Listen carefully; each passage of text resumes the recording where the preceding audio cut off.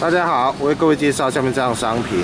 那我们今天来介绍这个东西呢，是独角兽的排气管。那我们来为各位来录这段影片。那独角兽排气管其实我们之前也有介绍过，但是呢，我们之前介绍的呢都是一个标准回压的一个款式。那今天为各位介绍这只独角兽呢，就是现在最流行的一个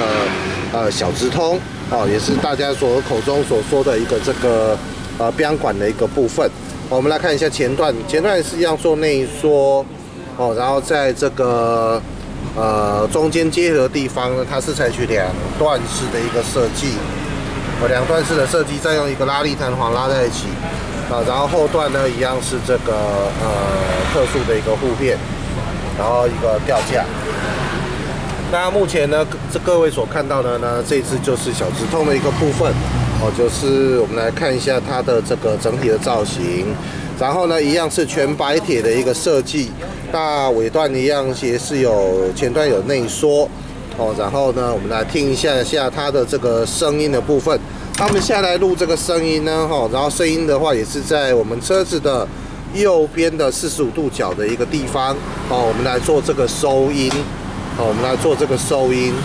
呃，然后我们来实际听一下的声音。那欢迎各位来做比较。那基本上呢，麦克仓库我们的排气管在收音呢，都会在这个位置，我都会在这个位置。那欢迎大家呃，可以在自己的这个电脑上面可以稍微做一个评比。所以呢，当然不是非常百分之百的一个准确哦，但是呢，至少有一个参考的一个依据。那欢迎各位来看一下。好，我们现在发动。基本上呢，怠速的声音呢，并不会特别大声哦，可能跟一般的回压比呢稍微大一点点哦。但是我们来听一下现在这个我们有加油的一个声音。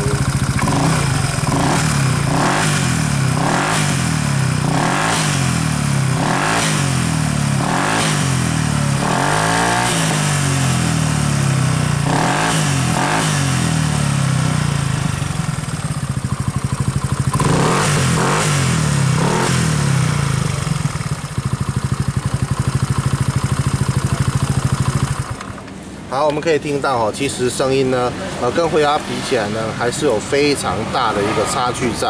哦，非常大的一个差距在，还是会比较有点音量的声音，但是呢，声音也蛮好听的。我们来仔细再看一下这个部分，而且呢，在尾段的出口部分呢，呃，独角兽呢，设计上呢，还是以这个，呃，这只小直通还是以单层的为主，还是以单层的为主。然后这我们看一下，在下面的一个这个呃护片上的一个设计，哦，那是跟一般的这个排气管有一些些不同的一个造型。好，那喜欢的朋友们呢，不管你是定制回压款，还是定制这个小直通的一个标管的一个部分，哦，都欢迎到麦克财务机器平台做一个选购，哦，都可以到或是到我们的 Facebook 连接到我们 Facebook 做一个这个询问，哦，喜欢都可以参考看看。那蛮多车型我们都会有现货供应。谢谢大家。